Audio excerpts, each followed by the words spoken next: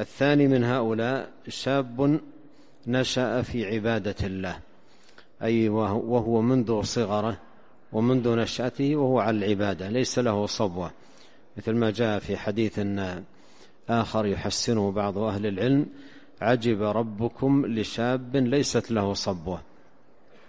ليست له صبوة يعني منذ نشأ ما عنده انحراف ولا عنده آه، ميل عن الصراط المستقيم بل هو على الاستقامة منذ نشأ وهو على الاستقامة. لم تعصف به شبهات ولا ولا شهوات بل وفقه الله سبحانه وتعالى للاستقامة منذ صبا.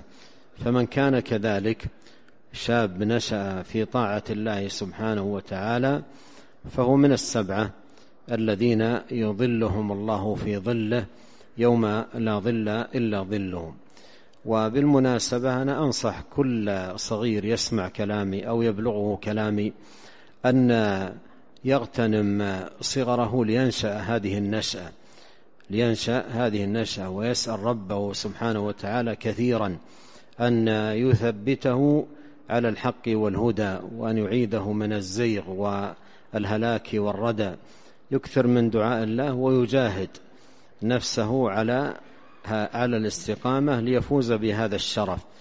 يكون من السبعة الذين يظلهم الله في ظله يوم لا ظل إلا ظله ويكون من الذين يعجب الله سبحانه وتعالى من أمرهم. عجب ربكم لشاب ليست له صبة يعني منذ نشأ وهو على الجادة على الاستقامة والطاعة لله سبحانه وتعالى.